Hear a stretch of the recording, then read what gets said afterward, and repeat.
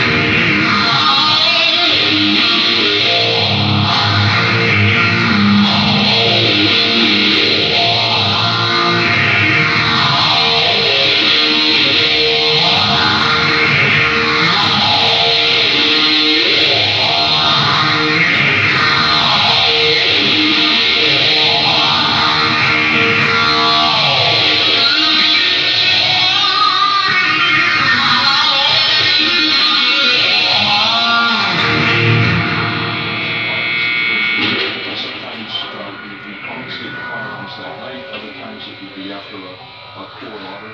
Uh, but, but it's kind of a logical response